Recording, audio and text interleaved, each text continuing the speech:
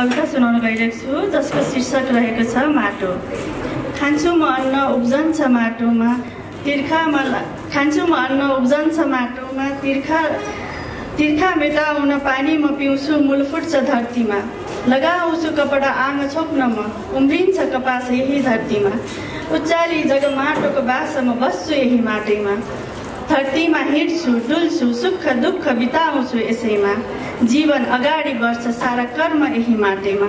यस अर्थमा माटैमा खान्छु पहिरिन्छु म माटै बस्छु म माटैमा पिउँछु म माटै।